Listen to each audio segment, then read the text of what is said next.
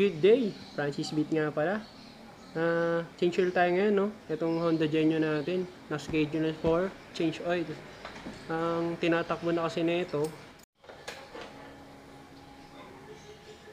Yun. 3,279.5 to be exact. Ang last na change oil ko dyan, ano lang, 1,000. So, nakakaano na siya, 2,200.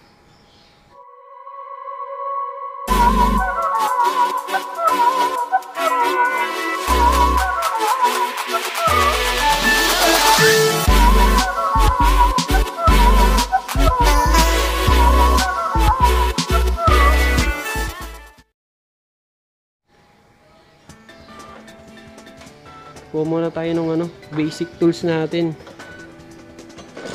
Ratchet. Dosing socket. Itong panalo.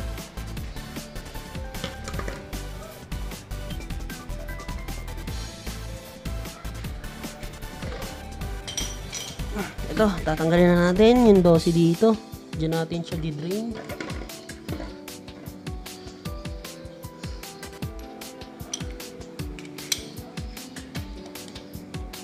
Ang bira niya is counterclockwise.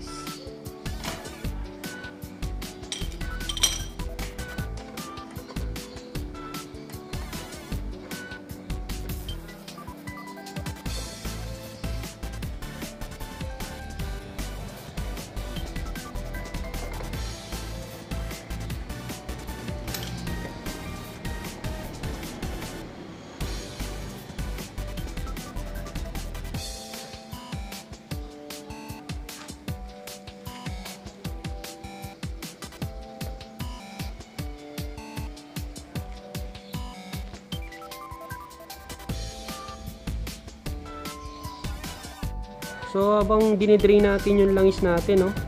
Kunin natin yung langis na ilalagay. Ano nga ba 'yon? Ito. Ito yung tinatawag ko na all-time favorite na langis.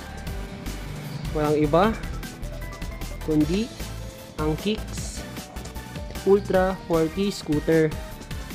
5W40, yan yung fully synthetic. You know.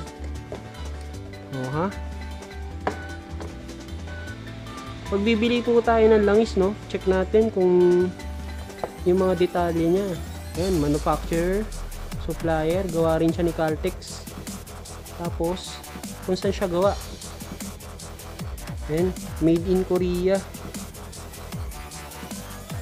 Yan kasi mga langis na nagkalat ngayon, wala naman label. Hindi natin alam kung saan galing. Marami na rin kasi tayo nasubukan ng langis, no? May petrol. May kastrol. Pero sa kicks talaga, ito talaga yung nahanap ng mga kliyente natin. Ito yung subok na langis. Yan, fully synthetic siya.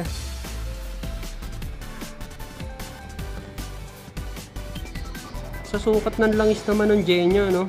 Ah, nakalagay kasi rito sa manual 650. Check natin dito sa dipstick niya. Sa mga kadalasan scooter ngayon, no? Dito na sa dipstick nakalagay yung ano niya.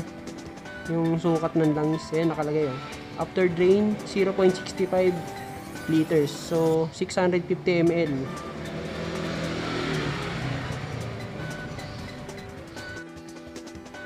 Sa langis natin, no? Pwede natin siyang sukatin. Ito, may panuka tayo kasi 650 lang yung ilalagay natin dun sa Genyo.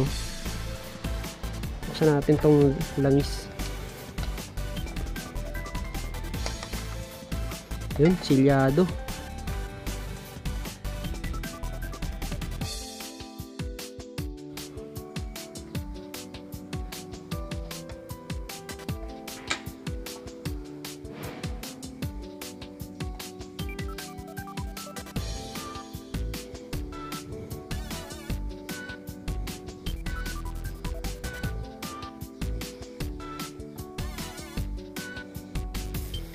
So yun, naglagay tayo dito ng 500 ml no.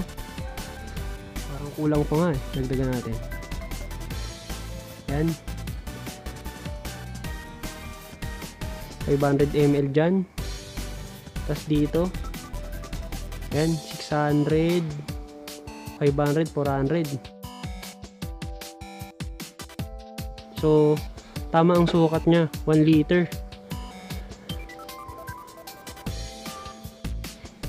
Ito nga palang dati natin langis na nilagay. Kicks din to. Bali, sinagad natin siya ng 2,200 na takbo niya, no? Ganito yung tsura niya. Mapula pa rin, okay pa rin naman. Ang ideal natin na change oil, no?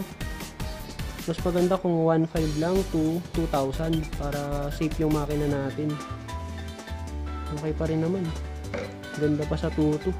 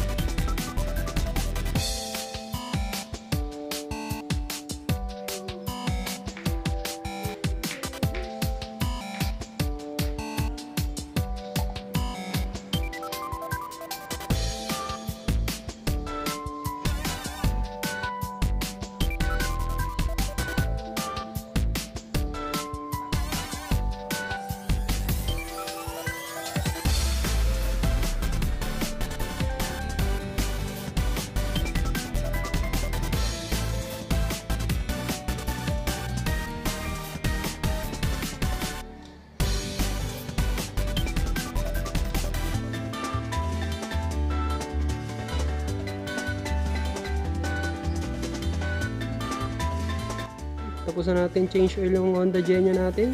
Gamit itong kicks. Available po ito sa shop natin.